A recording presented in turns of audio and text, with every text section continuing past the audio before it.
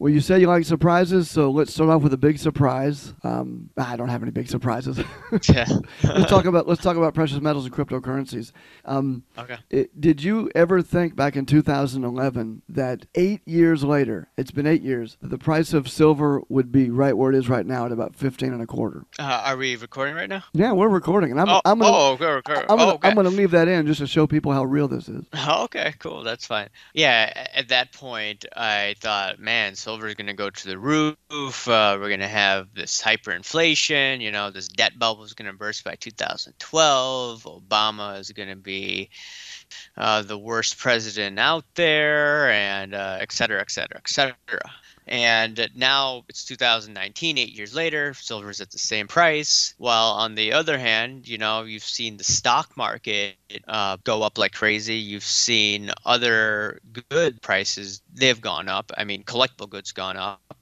So it, it's just quite amazing. I mean, I remember Ann Barnhardt, that crazy lady, did a video. Uh, she was saying, like, get out of everything. If you're invested in any of these products, not only will you not see that kind of return, if you do not move aggressively and proactively to remove your wealth from the financial system, you will likely have the vast majority of your wealth stolen, confiscated, or inflated away. You need to start moving right now.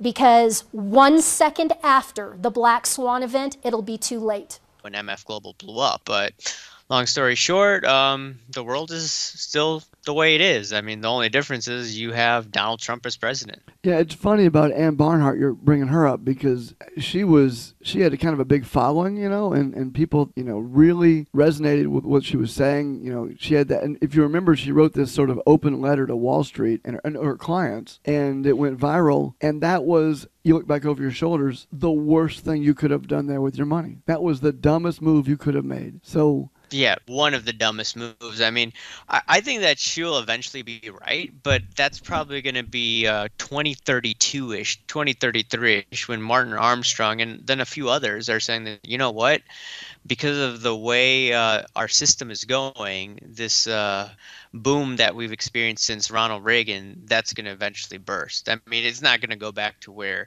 the Dow's not going to go back to where it was under Reagan, but it's just you're just going to see a radical correction in the stock market and, and Well- then a move from well, hold on. It was saying saying that she will eventually be right.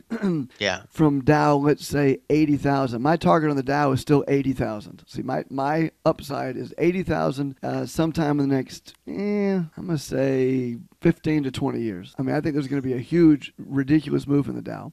Um, but but to say, let's say let's say we go to Dow eighty thousand and it crashes down Right. to Dow fifty thousand or forty or thirty or even twenty. yeah That's right. not exactly her being right, is it? yeah it's not technically her being right i'm just saying that you know we're going to see you know a lot of people think that uh, the private sector is great it's wonderful and whatnot and then you're going to see this shift towards uh, socialism you know like uh, i've seen you do some videos about uh, aoc and whatnot and that's how this new generation i think it's called gen y and then some of the millennials are just going to be like you know what i'm sick of this uh, my parents were dumb my grandparents were dumb let's try something new Yes. because it, it clearly worked under fdr they're going to say some nonsense like that but they don't realize uh, Yeah. the craziness that they're espousing Yeah, and, and you really make a good point there. Um, Dianne Feinstein actually looks sane compared to the crop of lunatics out there right now that are. But you know, Alexandria Ocasio Cortez is 29, and there's a lot of other younger folks like her who have literally no idea what they're talking about. But they are they are that generation which is coming in, and they are they are a privileged. Uh, spoiled. They've never had to work for anything their entire life generation. They never struggled for anything. There were no wars on our borders. There were no, you know, no real economic problems. I mean, they grew up having everything handed to them and they just don't know what they're doing. And I but I agree with you that they're going to say, well, my, my parents and grandparents what what they did didn't work for whatever reason and socialism seems real sexy. You know, everyone gets free stuff. And that does frighten me because, you know, th- we could be looking at 20 or 30 years of crazy social problems because oh it, it's going to be much longer than that and speaking of aoc i don't think she's smart enough to even espouse even the ideas she's coming from and or what she's talking about, and all of her ideas they're coming from her Indian handler, Saikat, uh, I think Chakrabarti, however you right. say his and, name. And did you see Mr. And, did you see Mr. Reagan's video on that? Yeah, I, I just saw it today. The brains behind Alexandria Ocasio Cortez. Mr. Reagan. Alexandria Ocasio Cortez is not really the Congresswoman of New York's 14th Congressional District. She is essentially an actress. She's merely playing the part of a New York congresswoman. Uh, dude, that's our the best. Mutual contact, John. He sent it to me today. I watched it. I'm like, wow. I mean, dude, that it's amazing because, and, and anyone listening, Mr. And I'll put a link to Mr. Reagan's yeah, video. You, everyone needs to watch that video. Yeah, everyone. To, yeah, man. I mean, you need to watch that because he did a stellar job of researching it.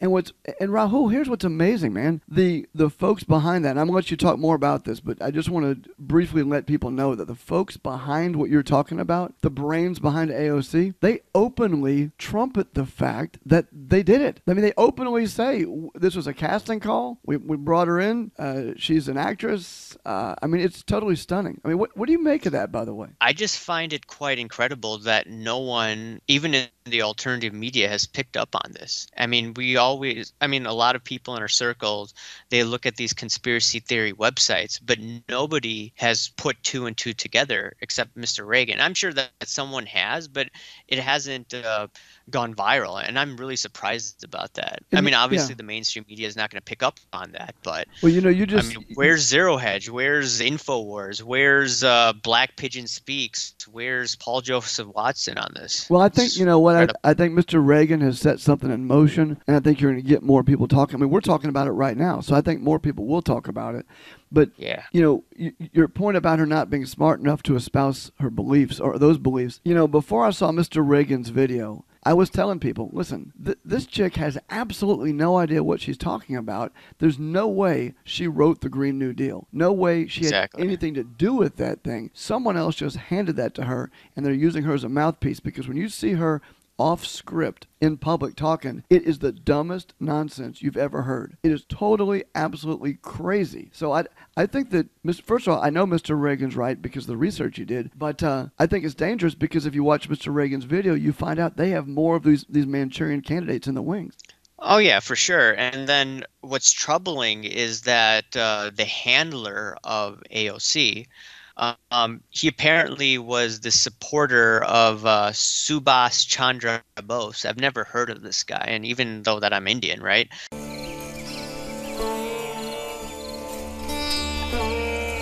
I've never heard of this guy, and this guy was a revolutionary. Just reading about him just now and uh, this is the type of shirt that this guy's wearing. And well, can, can, we be clear? Wait, can we can we be clear about something? Okay, yeah. th- these people hate America. They hate right. our values. They hate the uh, our, our, form of government. They hate Americans. That's that is the rock bottom line. There's no way to get around that, and that's what people need to wake up to and be concerned about. It is a. And, and the thing is, you know, what's crazy about is if you hate America so much, even though he was what raised in Texas, why do you still live in America? So it's just well, why, hold on. I mean, why you, not? Why not live in America when you? This is the land of. I mean, it, you can get anything you want with the least amount of effort in this country. There's no country in the world that gives more than this country does, and that's why these folks are here. And they are here. If you look at what communists were talking about 50, 60 years ago about infiltrating, getting into the education system and the media and journalism, and th- that's what's going on. And we are now reaping the rewards of that. It's multi generational, and these folks are here. And I want I want to be clear, man. They are here to take this country. They are here from the inside to totally take this country over. And you're talking about Saikat Chakrabarti. That is the guy that's behind AOC. And if people don't r- know who this guy is, again, watch Mr. Reagan's video.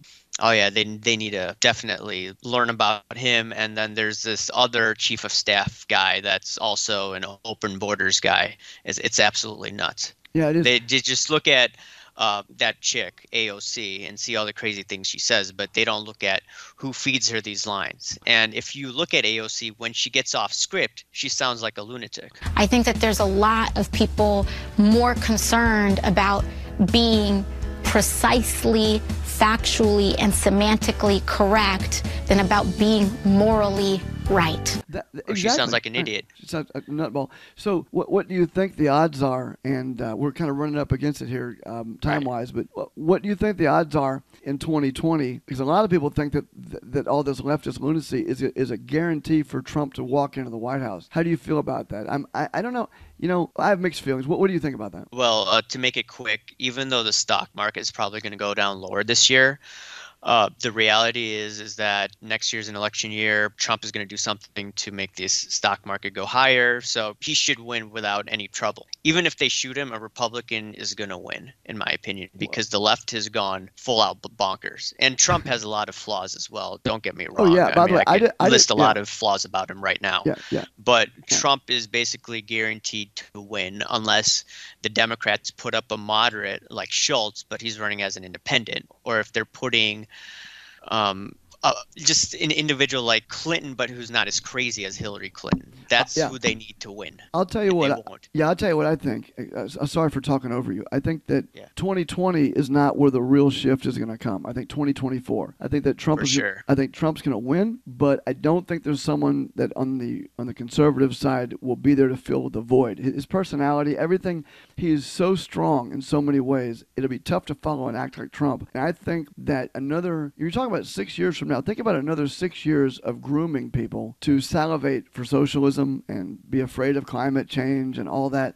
I think Just get a ten more uh, Ilhan Omars or uh, that's right. Tlaibs or That's right. Cortezes. That's and right. that's what they're doing. I mean, right. they're getting these, to be bluntly putting it, getting these minorities that despise America That's right. or despise the notion of America. And I think that what we're going to see is most likely 2024 is when it all goes down. I think. I think I think 2024. 20, 2024, I think if you look at Armstrong, he talks about 2024, his cycle, and then 2032 should be the culmination. You're going to get a maniac on the left, in my opinion. That's That's when it's all going to go down. Okay, well, great. Well, we'll listen. We'll talk more about that next time. I, I, For sure. I want to have you back on and get and pick your brain on some of this stuff. Where where Right. can people go to find out what you're working on? Is it just still your, your YouTube channel? Yeah, YouTube, uh, Alt Investors Hangout. I'll be doing videos in the future again. Okay, well, good. Everybody, it's Rahul from Alt Investors Hangout. Rahul, thank you for coming on. It's been a while. Let's do this again. For sure. And everybody, uh, go check out his channel. Thanks for being here, Rahul. Thanks. Oh, I say it, I say it again. You've been had. You've been took. You've been hoodwinked, bamboozled, led astray, run amok. This is what he does.